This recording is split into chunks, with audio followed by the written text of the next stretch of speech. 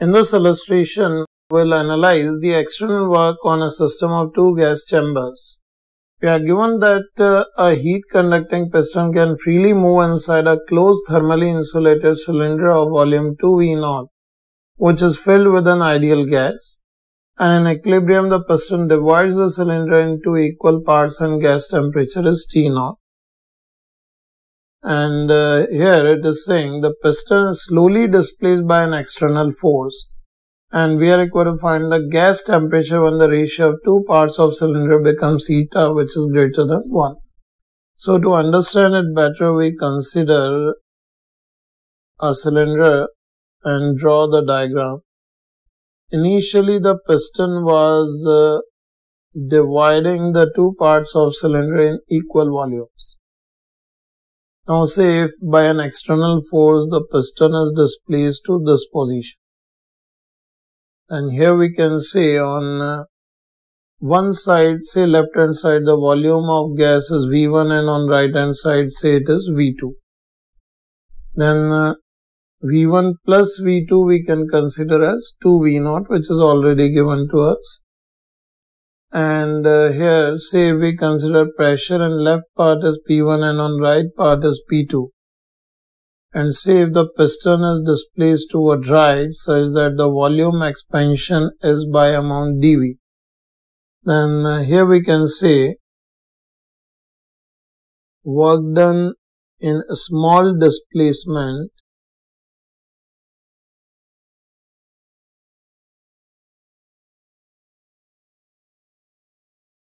of piston is this work done we can write as dw which is uh, obviously as the second part is compressed p2 will be more so external agent has to do the work against p1 and p2 where p1 is supporting p2 is opposing.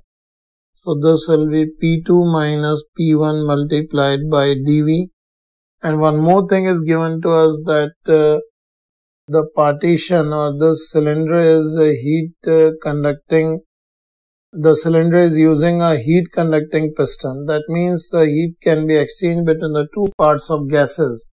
So whichever amount of work is being done on the system that will be raising the internal energy of the whole system of gases.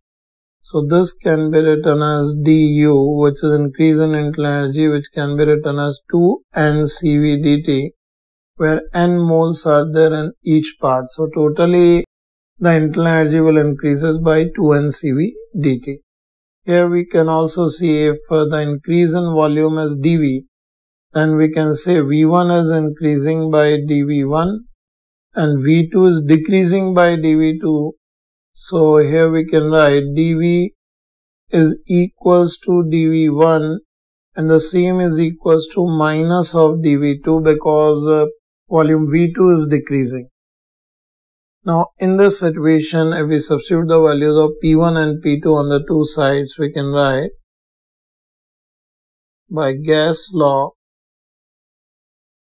we use the pressure P2 we can write as nRT2 by volume of uh, this part is V2 multiplied by dV we can write as minus dV2 minus P1 we can write as uh, nRT1 by volume V1 multiplied by dV1 is equal to 2n CV we can write as R by gamma minus 1 multiplied by dt.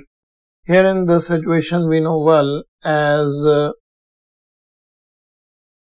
piston is conducting this implies always the value of T1 is equals to T2 is equals to T we can take. So T1, T2 if we substitute as T we can take it on the other side. Before that we can cancel the terms of NR. So this becomes minus dV2 by V2 minus of dV1 by V1 is equals to 2 by gamma minus 1 dt by T. Here I have taken T1 equals to T2 equals to T as uh, due to heat conducting piston on both sides temperature will always be equal. Even if it increases or decreases that will remain same or equally the temperature in two parts will increase or decrease. After this point if we integrate uh, this term for volume V2 we can integrate from V0 to V and for V1 we can integrate it from uh, V0 to as we are given that gas temperature when the ratio of two parts becomes eta so it will be eta V and temperature is changing from T0 to T. Now if we integrate this value here it gives this ln of uh, V0 by V minus ln of uh, eta V by V naught is equals to 2 by gamma minus 1 times ln of T by T naught. Now in this situation Further, it gives us ln of uh, v naught square by eta v square is equals to this ln of uh, t by t naught to whole power 2 by gamma minus 1. And from here, uh, we can take anti-log on the two sides, then we can continue here. You can see this gives uh, the value of uh, t is equals to t naught multiplied by this is v naught square by eta v square to whole power gamma minus 1 by 2 and here we can relate v naught and v from figure here we can write when the volume of uh, a part uh, say V2 is V and uh, V1 is eta V, then we can write eta plus 1 V should be equals to 2 V naught as the overall volume of the cylinder remains constant.